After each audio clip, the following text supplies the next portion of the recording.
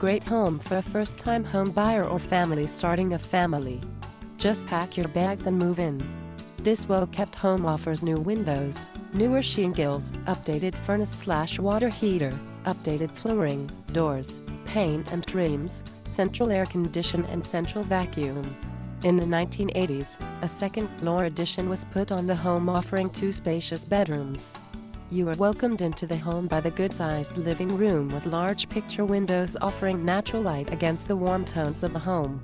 The quaint kitchen has great oak cabinetry and opens to a casual eating area which is an access to the south-facing deck and large backyard. The main floor features a bedroom, main floor laundry and a four-piece bath. The second floor offers two bedrooms, the master can accommodate a king-size suite and still have plenty of room. The lower level of the home features great space and is used as a bedroom, but could certainly be used as a wonderful family space. This floor is complete